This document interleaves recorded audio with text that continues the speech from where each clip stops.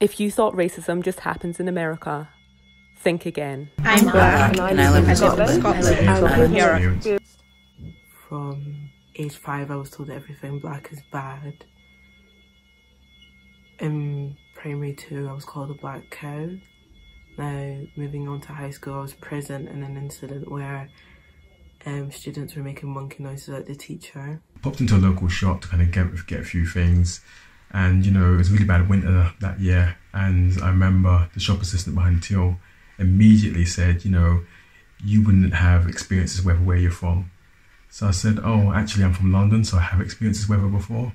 So immediately that person got really kind of annoyed with me and said oh i'm just making small talk. Left my stuff at the till walked out and never used that shop again. The girls in my class they used to make fun of me. They used to make fun of my skin color the way i talk the way I dressed, my hair. Bell rang for lunch and I left my class and I went around the corner uh, to see that my sister stood in between these two girls with a rope tied around her neck and each girl had a bit of rope on each side but with that they were pulling, essentially choking her. Um, the playground assistants stood by and watched only when I went in to intervene did the adults in the playground go in to intervene. I was about 16, walking home from school, and there were two white men walking towards me, probably in their 20s. And they smiled. Um, and as I walked past them, one of them said to the other, She's alright for a coon. It is probably the most offensive, most insulting word you can use to identify or describe a black person going back to slavery. I have been going through a hate crime where someone has been giving me abuse daily about the colour of my skin, how I look, and anything that I do.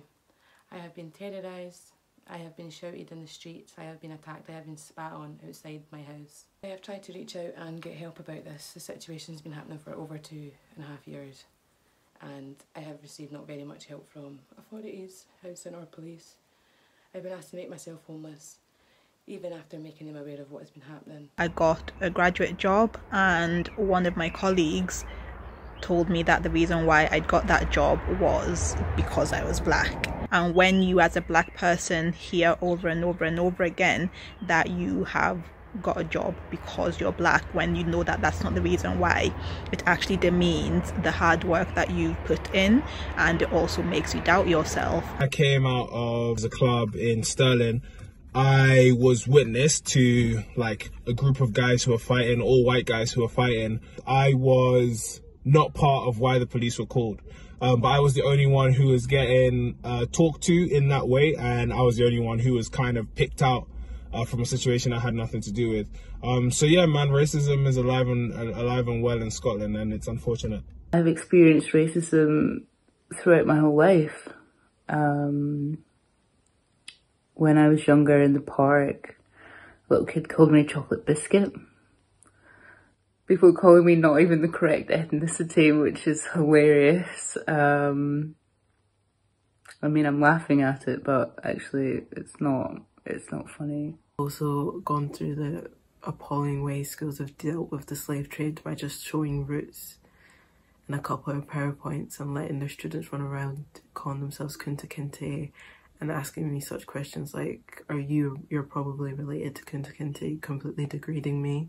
I'm not just of colour, uh, but also an immigrant from South Africa. Um, when people heard my accent when I was little, I used to have a South African accent. Um, they used to ask if I had lions or zebras in my back garden. Um, and when I moved to high school, people would often call me uh, half caste, uh, mulatto, and African, even though my whole family and their descendants were born in Africa. Um, and up until the end of my school career, really, uh, people would call me Warburton's 50 50. We went out to a bar in Edinburgh on um, the Royal Mile, so, you know, very popular bar. Um, and as soon as we walked in, they said no. And I was like, no what? Like, you're not open? Or I laughed but it's not funny. I think you you either laugh or you go insane. Um, and they're like, no, we're not serving you. And I was like, oh, it's okay. Like, I don't mind not drinking. It's more for my partner. And they were like, no, get out. I was probably about 13, 14, and I was just walking up to the shop for my mum, and there was a girl who started following me, and I think she was just trying to intimidate me. So she then stood in front of me and called me a black bitch um, to my face. Um, yeah, walking down the street as a teenager was never really the same after that. I always had the fear. I was with my white boyfriend, and um, this man uses the N word with the hard R to ask my boyfriend if he likes people of colour. I would be at school and parents and children would come up to me basically. And because my mum's white um, they would say they would ask me if I was adopted um, if that was a nanny when I was attending my uncle's funeral. And we were all in the family room and the funeral director um, came up to me asked why I was there and why I was in the family room. Obviously could not comprehend that I was mixed race and that that was my family obviously because they were white from as young as about six years old, I've experienced racism, um, all the way up to a point last year when I got called in the street being told to go back to where I came from. I was about 15. I was chosen to be part of um, quite an interesting campaign. A rumour started circulating that I had only got the part because I was the token black participant. I didn't get it because of my talent. I didn't get it because of anything else. The start of high school, maybe S1, S2, um, they thought I was carrying weed on me. They obviously smelled it in the class somehow. And I was the only black person in the class, funnily enough. And I'm the one that gets taken out first. Uh, I get searched by the teacher. He's making a big fuss. Um, I had dreads. I probably look like the second coming of Bob Marley to the teachers and then when I got to the next class, um, I got taken out again by the head teacher and the teacher from the previous class, and the teacher from the class that was that like I just went to, so the second class that I was at. So three teachers were out here searching my bags, found nothing, and I told my mum she was absolutely raging, like she was fuming, and um, she wrote a letter to the school and I tried to hand it to the teachers and they were just like, oh, we don't have time for this. We don't need to listen to this. You know, I've got better things to do. So. Comments like, you're pretty for a black girl. Um, your people aren't necessarily good looking, are they? Um, you're so exotic, but in a fetishizing way, which became clear as soon as the conversation carried on a bit. When I was around four years old, I was walking back from the shops with my mum and my older brother and a man was crossing the road at the same time as us and he must have seen the bananas poking out of our shopping bags. And he um, started shouting at us saying like ha ha ha look at those monkeys with their bananas. Um, he seemed to find the whole thing uh, highly entertaining. And throughout um, primary and high school I had numerous racist incidents more than I could um, explain like so so many and often those racist incidents when I did report them were not dealt with appropriately. I worked in this corporate organisation tech recruiting company in Glasgow and this woman like we were out and she touched into my hair and I was like please don't touch my hair because I'm not anyone's property.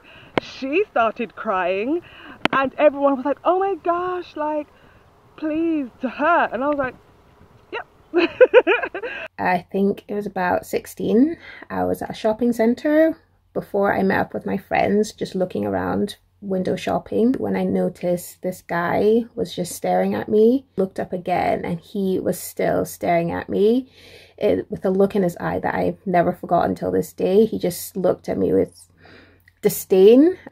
So I kept trying to avoid him, eventually just running into a bathroom, into a bathroom stall for an hour, literally crying because I didn't understand.